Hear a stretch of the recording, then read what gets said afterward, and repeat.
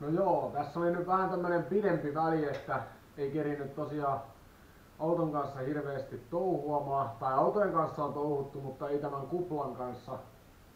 Tuota niin, niin on ollut omaa käyttöautoa tuossa työn alla ja on ollut emännän autoa ja on ollut kavereiden autoa ja muun muassa viimeisimpänä tää kaverin pajeroi tossa piti vähän jarruputkeen väännellä ja tällaista. Mutta jotakin on saatu tehtyäkin kuplan kanssa.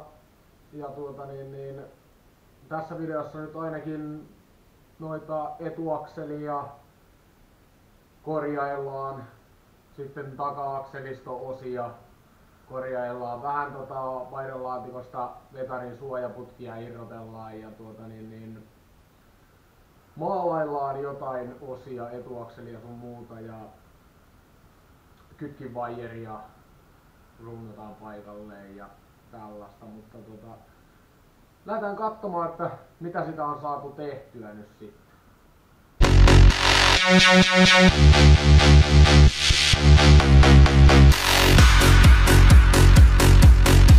We'll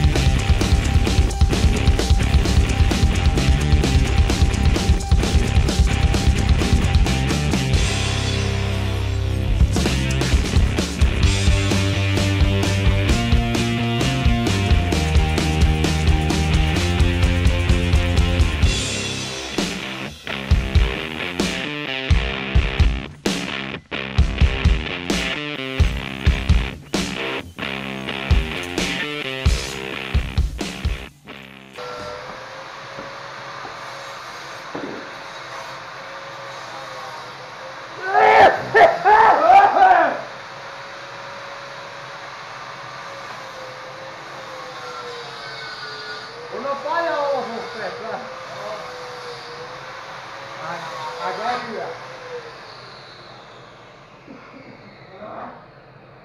Vähän leikkis putkimiestä taas. Ah. Putki hommi.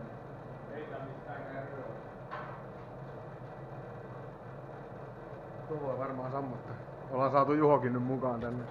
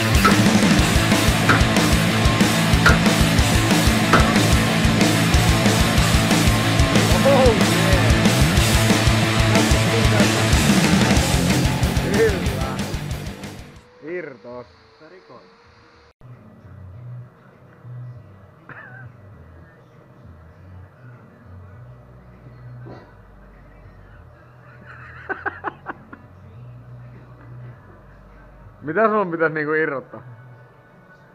Tuo vetoakseli. Veto. Okei. Okay. Joo. No miltä näyttää? Näyttää siltä, että ei hyvältä näin. Onko tää joku ongelma? Ehkä tässä on tää tekijä. Pistä insinööri asialle ja me ite perässä. Niin. Ei oo helppoa.